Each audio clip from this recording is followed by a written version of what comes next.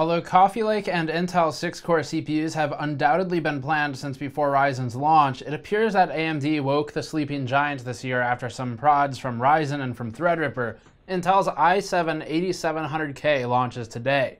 It's a 6-core, 12-thread part that targets high frequencies, and that launch is accompanied by a target MSRP of $360, about a 10 to $20 price increase over Kaby Lake. This is the competition part of the market. Intel moved up the X299 launch to compete with Threadripper, but what we'll never know is whether Intel adjusted its target price to compete with Ryzen, at least on the Coffee Lake CPUs. Either way, the i7-8700K is here now, and we've got a densely packed review covering most aspects of the new CPU lineup. This video is brought to you by the Be Quiet Dark Base Pro 900 White Edition. The DBP 900 marks a return to full tower cases, equipped with ample hard drive support, effective noise damping foam, high performance fans, and the option to be inverted into an alternative layout. The tinted tempered glass window and Qi charger add a high-end touch to an already well-built case. Learn more at the link in the description below. So lots of things to know for this review. First of all, we got the worst possible 8700K sample that could be made. The overclocking headroom on ours was much worse in terms of voltage versus frequency than what many of our peers got. So while I am envious of the other CPU samples out there, it at least gave us a, an excuse to step through a couple hours worth of trying every trick in the book to get the thing to clock a little bit higher. We ended up stuck at about 4.9 gigahertz, but kind of hit 5.0. And the thing is, I, have got a screenshot from der8auer I can share on the screen. He is giddy at the CPU he got. I mean, der8auer, he has a couple of them, and that one in particular does 5.2 gigahertz at something like 1.375 volts or somewhere around there. The guy is lucky. Uh, that's a crazy overclock. Ours shows just how the Silicon Lottery works and why companies and websites like Silicon Lottery are in existence. Our CPU does 4.9 to 5.0 at about 1.4 to 1.42 volts, depending on the test. And at 5.0, we can't pass Blender even with 1.42 volts. So a little disappointed there, but we still did the delidding thing, did liquid metal, all that stuff. Uh, plenty of stuff to do. Still overclocked to 4.9 or 5.0 where it held.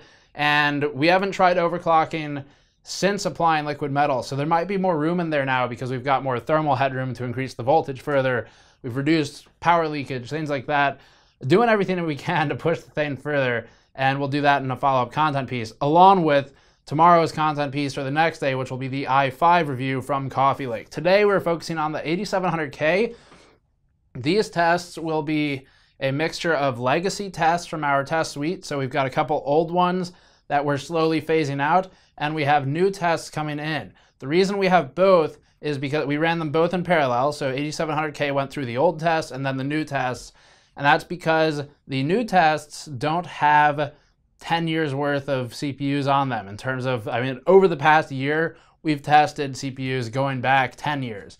Uh, and so those are not present on the new benchmarks, but they are on the old ones. So we ran both in parallel. That way you get a sense for scaling. So uh, we're to pop up the timestamps for this video, the table of contents, whatever you want to call it. And that's because this is densely packed. And all the disclaimers aside now, we'll have thermals and delidding, overclocking, Blender, Premiere, gaming, all that stuff. And you can jump around if you want to, though. We'd obviously encourage you to watch all of it because it all comes together in the end and paints a pretty clear picture of how this CPU performs. But it is dense in terms of charts and we'll have all of those in the article linked in the description below if you want it all on one page for easier reference in the future. We'll start this one with thermals and delidding since that's been a popular topic for us lately. We're running these tests with fixed frequencies and voltages as that's the only way to properly control for fluctuations in CPU behavior. We used Rockit Cool's delid kit to remove the IHS, which we'll link below. This proved trivial to use and worked flawlessly, which for a $40 kit is pretty damn good. We can recommend this one for Coffee Lake delids. The previous model for Kaby Lake also works here. And Delidding the 8700K is easier than the Skylake X CPUs as it lacks the dual substrate layout. Delidding the CPU was matched with removing the silicone adhesive from only the IHS. We left it on the substrate for now, and then we applied Thermal Grizzly Conductonaut liquid metal. We'll link that in the description as well if you're interested in it. And you can check some of our previous delid content for more information on performance with Skylake X. Let's start with the more exaggerated results. When testing Blender with a 4.9 GHz frequency and 1.4 core voltage, our 8700K with Intel TIM and an NZXT X62 landed at 76 degrees Celsius average core temperature with a 10 second peak of 76.6 C and a liquid temperature of 40.65 C. The liquid metal version at the same frequency and voltage measured at 52.59 degrees Celsius. That's a reduction in average core temperature of nearly 24 C. Liquid temperature measured about the same as before at 39.82 C. Looking into this further, we realized that measured at the current clamp on the EPS 12 volt rails, the 8700K with TIM was drawing about 10 to 20 watts more power at the same voltage and frequency. We're not yet positive, but our present theory is that this outcome is a result of reduced power leakage on the CPU as a result of energy transfer efficiency improvement from the die to the IHS by way of using the Conductonaut liquid metal, which is about 73 watts per meter Kelvin thermal conductivity versus something like 3. So that would explain part of the power leakage reduction. Testing with Prime 95 28.5 and the CPU locked to 4.7 gigahertz core, 1.35 V core, we found the delta much closer than in the earlier overvolted tests. The TIM test plants us at 62.6 degrees Celsius average core temperature with a 10 second high at 63.82. Liquid temperature is effectively matched to the liquid metal version at 39.6 versus 39.8 C, and that's within our test error and resolution, so we can just call them effectively equal. Using Conductonaut, we're at 52.59 C for a 10 degree reduction in average core temperature, which is a pretty reasonable gain, though the previous gain was much more impressive. This isn't as big of a deal as with the Skylake X CPUs, when we were constrained by thermal limits with overclocking. The Coffee Lake CPUs run much cooler.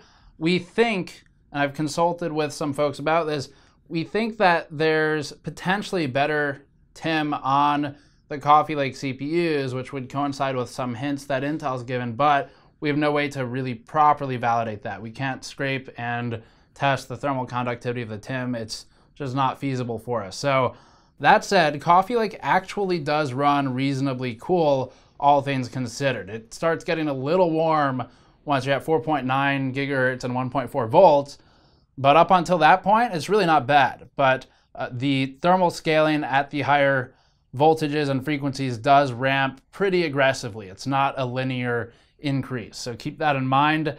A 10 to 20 degree reduction, though, is no small feat and does mean you can potentially reduce the RPM on your coolers, lower noise, things like that, and it's good for anyone pushing higher overclocks as well, where you're going to run into potential thermal limits with the lower end or smaller coolers. So uh, for the kits we used, I- am going to go ahead and give a shout again to Rockit Cool because they sent us that kit a while ago for Kaby Lake. We finally used it and it worked well. So if you're interested, check them out. Uh, Conductonaut has worked well for us also. And then if this stuff is scary to you, gonna give a quick shout to siliconlottery.com because I've heard they're going to have bin to CPUs within one to two weeks of launch. And uh, we worked with them previously on a Kaby Lake CPU. So those services are all options if you want to either delid yourself, delid yourself, probably don't do that. But if you want to delid the CPU yourself and apply liquid metal, it's a 10 to 20 degrees, pretty damn good. So consider it whether it's DIY or not, but it's definitely not necessary. Unlike Skylake X, you will not be thermally constrained on the overclocks with Coffee Lake on a reasonably sized cooler as opposed to the 7960X where we were actually 200 megahertz higher by adding liquid metal. So that isn't as big a change as SkyX, but still a pretty good change. Next set of tests, we have two streaming and recording tests prior to the gaming workloads. For the first test, we're benchmarking live streaming capabilities as encoded on the CPU using OBS and X264 with the faster preset, outputting to YouTube at 10 megabits per second, 1080p 60. The second test is done with local recording captured at 15 megabits per second, so internet's not an issue, and using X264 fast for the preset. So it is a better encoding option for higher quality. The second test is far more intensive versus the two and is more likely to stress the CPU into a point of dropping frames even if somewhat of a synthetic test. We'll start with the easier workload, streaming Dirt Rally to YouTube at 10 megabits per second, and with the faster preset, we end up encoding 100% of the frames out of both the 8700K and the R7 1700 with effectively no dropped frames on either. We didn't overclock either because it just wasn't necessary. We are at or below 0.1% drop frames on the R7 1700, but that's within test variance and margin, so effectively zero. At this quality setting, the two produce the same viewer experience for the stream.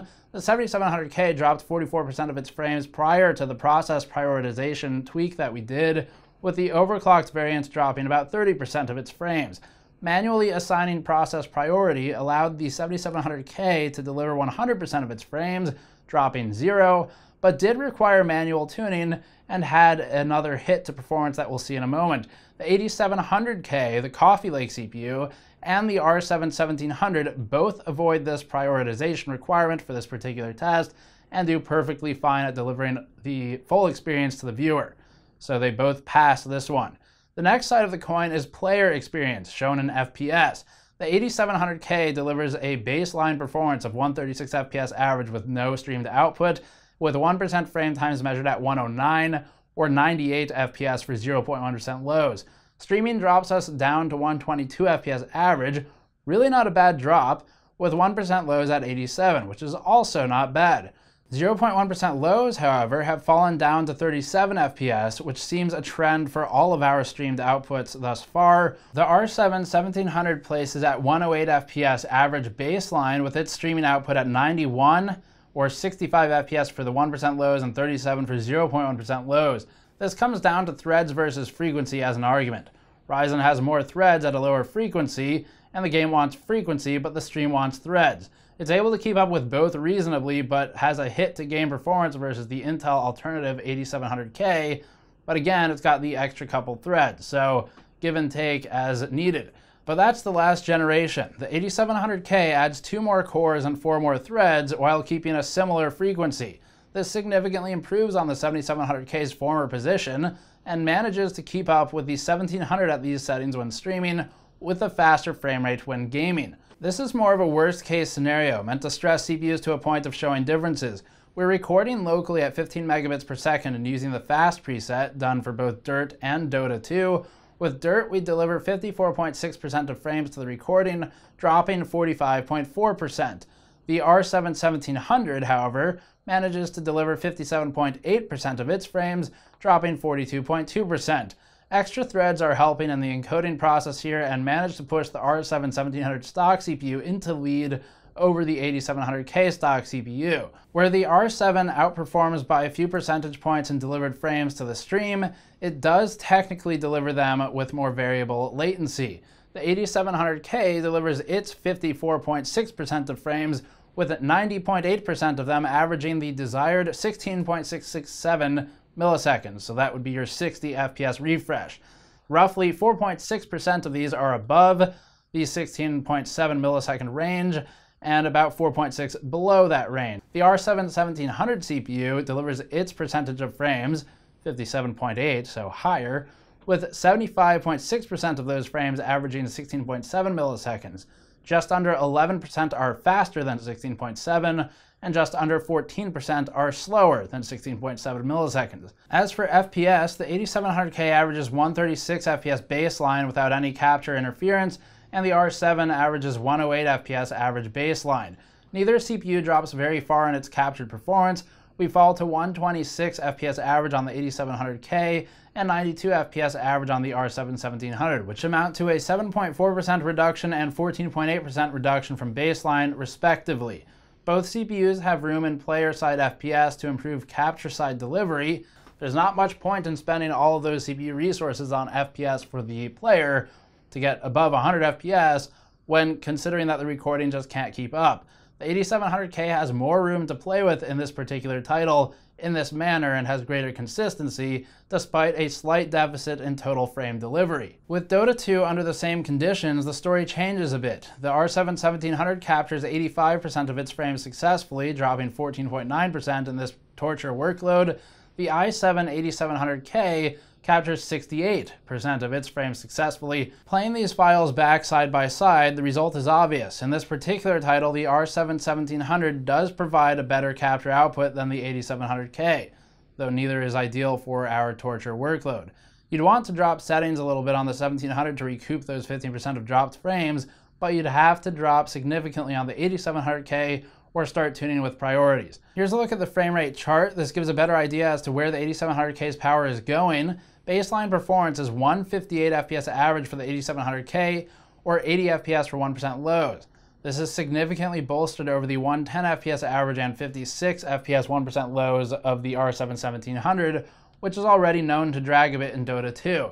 Beginning the game capture, the 8700K drops 36% of its frame throughput to 101 FPS average, with the 1700 dropping a similar 35% of its frame throughput, but delivers more of its frames to the stream or the recording capture.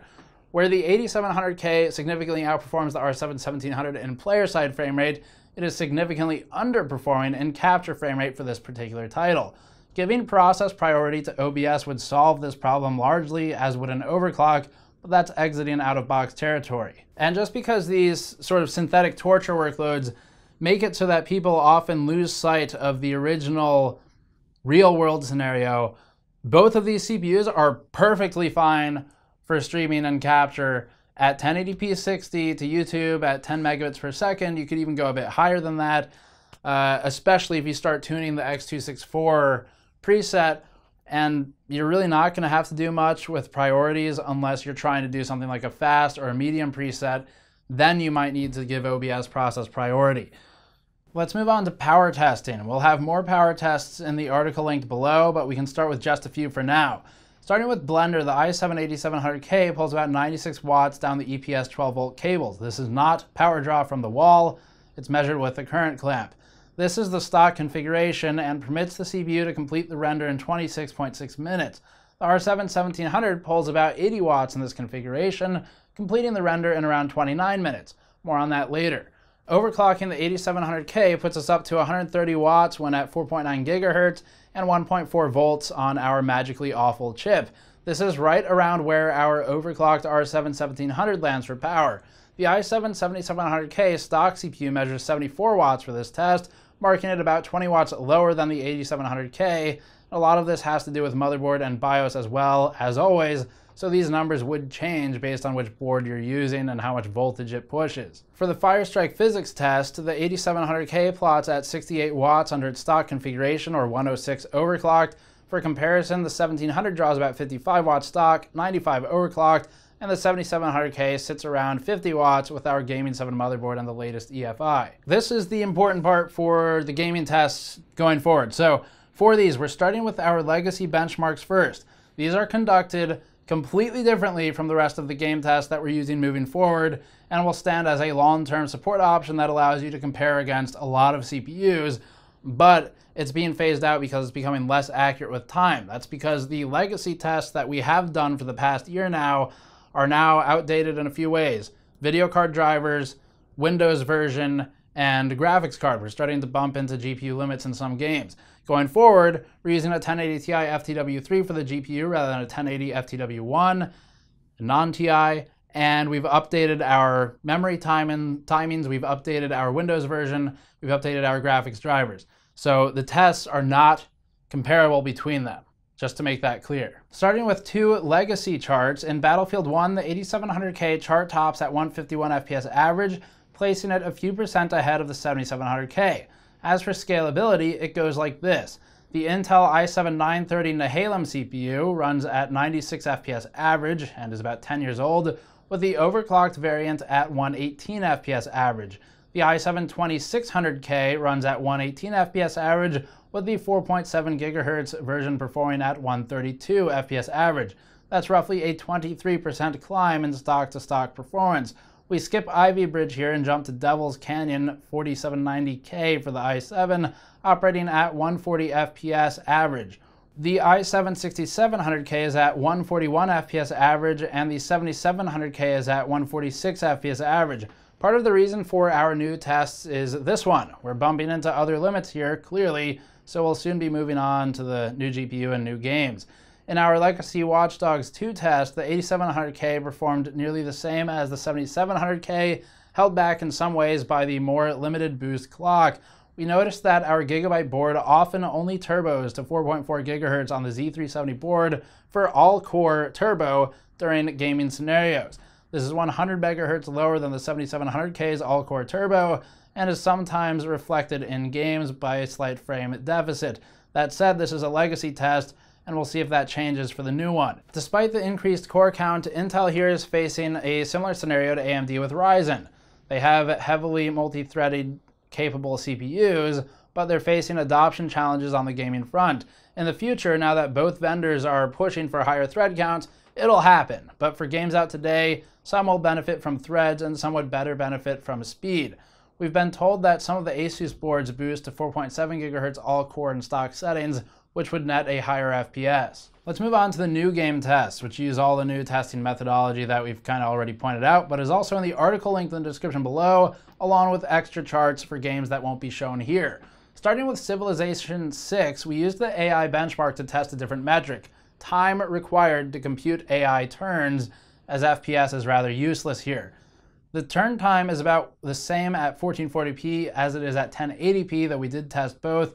Average FPS actually goes up for worse CPUs because the time spent idling on the screen is longer. So just to reiterate that and make sure it gets through, the reason we're not using FPS as a metric for the AI benchmark is because as you plot it with worse and worse CPUs, FPS goes up.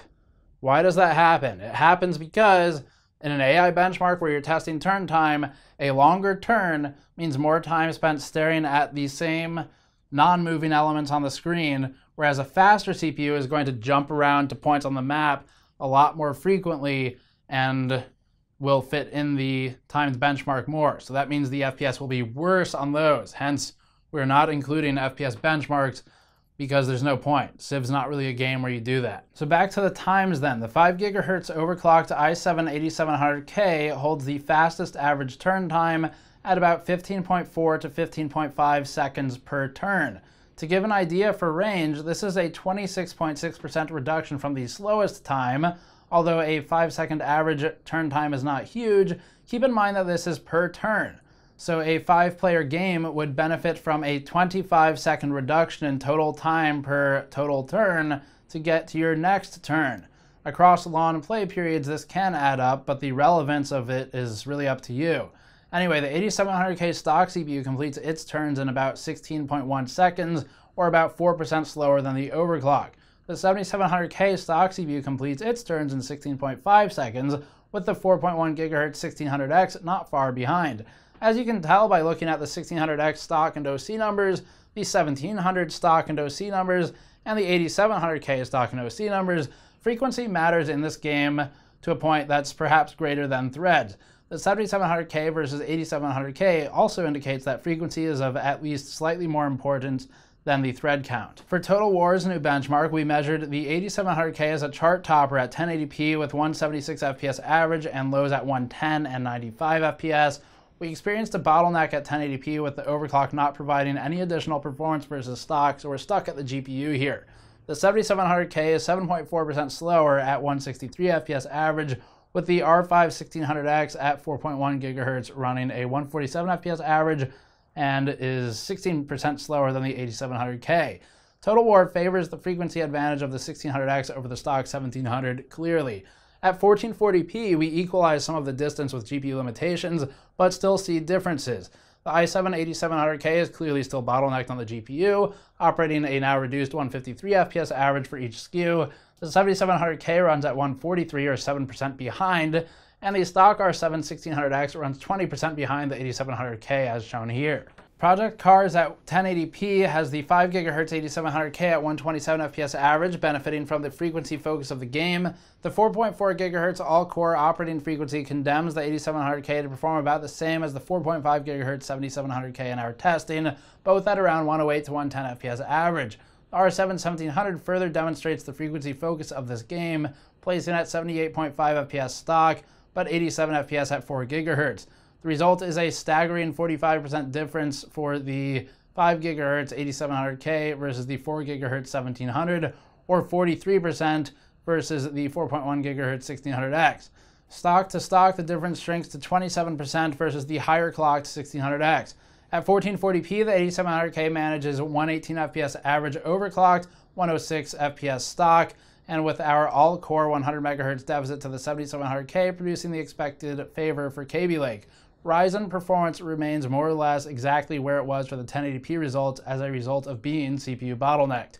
We have a few more game benchmarks in the article linked below. If you want GTA 5 and some others, it'll be there, but this video is getting pretty long at this point, so we'll leave them to the article. Getting into some production workloads now, we'll start with our legacy Blender test using 2.78a, then move to the updated renders on 2.79. Like the gaming section, we're doing this to give an idea for scaling against a year's worth of CPUs, but also to provide important modernized information with a more limited data set. With version 2.78a and our in-house Monkey Heads render, the 8700K stock CPU takes 23.7 minutes to complete the render, which is about a 44% time reduction from the 7700K stock CPU's 42 minute render time. Compared to R7 CPUs, the 8700K takes about 11 to 13% less time to render than the 3.9 GHz overclocked R7 CPUs, including the 1700X at 3.9 GHz and 3466 MHz memory speed. The 8700K takes 28% less time to render than the R7 1700, and that's thanks to its high frequency and core count combination for the performance. Turns out Intel also has version 2.78a to thank. For version 2.79, we're using the test shown on the screen now. The monkey head render takes 26.6 minutes to render on the 8700K compared to 28.8 minutes on the 1700, both with 3200 MHz CL16 memory. The 8700K completes the monkey head render 7.6% faster than the R7 1700, and that closes the gap in this case. Overclocking both produces a 24.15 minute render on the 8700K or 24.7 minutes on the 1700. For Adobe Premiere and other benchmarks not shown here, check the article linked in the description below. Uh, I'm gonna leave it there. You've got enough data to really piece together your own conclusion at this point. I don't need to spend five more minutes talking about it.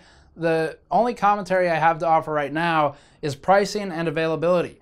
We know what the MSRP is. We don't know what it's going to cost when it launches because we filmed this before it's available on retail. So if the price is MSRP, the 8700K definitely has a place in the environment for the right users. Apparently there are power delivery optimizations on Z370. It would still be nice to see the CPU work on Z270, but it might not be that simple, and Intel frankly won't tell us anything further than what we already know. As for Z390, that is supposed to carry performance improvements. Z370 is somewhat of a stopgap between now and Z390, and Intel clearly moved this launch a little bit forward to better compete because they just launched Kaby Lake on the 7700K in January. So if you already own something like a 7700K, unless you have a very specific reason for this 8700K, I'd say don't upgrade. But for older CPUs, obviously there are reasons to upgrade to either Ryzen or Intel at this point. You've got a whole list of data, pick through it, find your use case, and decide from there because it's very use case dependent at this point. I'm not going to put a blanket statement on if you should buy it or not. Availability in some regions will allegedly be low, but we're just not sure yet. Those are still rumors, so if it's low, I'm sure I'll be complaining about it in an episode soon enough. So subscribe for that if it happens. Otherwise, the i5 review comes shortly. This was enough for now. Patreon.com slash GamersNexus. If you'd like to help us out directly, if you've never seen us before, this is what we do. So help us out if you like it. I'll see you all next time.